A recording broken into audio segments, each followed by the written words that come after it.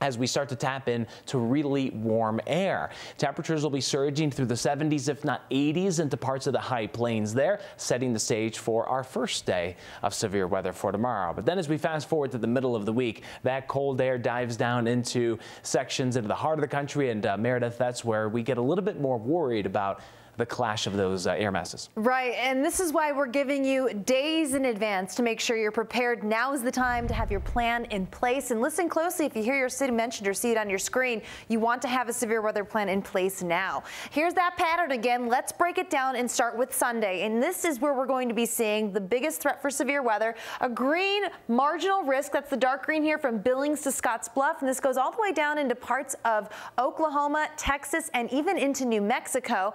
And some of the cities we're talking about here, Amarillo, Texas, Garden City, Kansas, Rapid City, South Dakota, even Scottsbluff, Nebraska, all of these larger cities are going to have a threat for not just damaging winds and hail, but we also could see a spin up tornado possible as we get into the afternoon. Here's the timing. This is Sunday at noon. Putting this into motion, you can see right along this boundary here is where we are expecting to see the showers and thunderstorms start to form and continue to initiate as we get into the afternoon and evening evening, continuing even into the overnight, maybe in a couple spots of more of the isolated type. A marginal risk is a lower end, but that still means we have a threat for severe weather. And for places like Roswell, New Mexico, 20% chance there for showers and thunderstorms.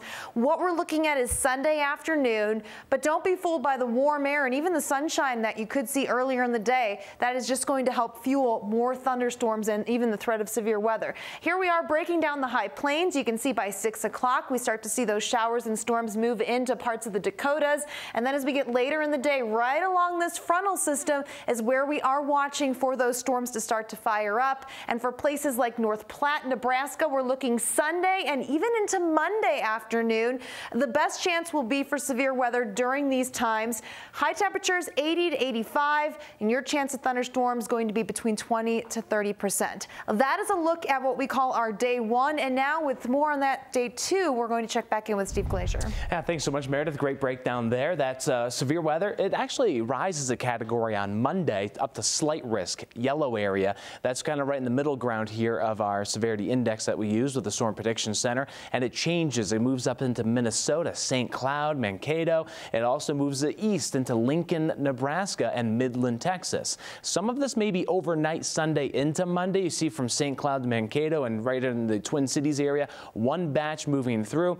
I do believe some more will pop up through the afternoon closer to Lincoln, Sioux Falls, and down to about Garden City into the state of Kansas. So for Lincoln, Nebraska, we are looking at a 20 to 40 percent chance of showers and storms mainly Monday night through Tuesday and strong gusty winds.